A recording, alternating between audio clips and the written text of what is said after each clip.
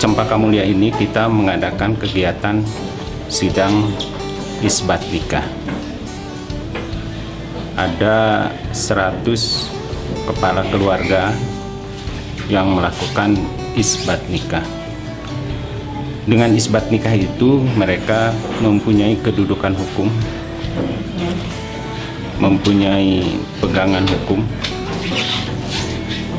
karena yang selama ini apabila mereka sebagai suami istri masih diragukan kesahannya dalam artian pernikahannya.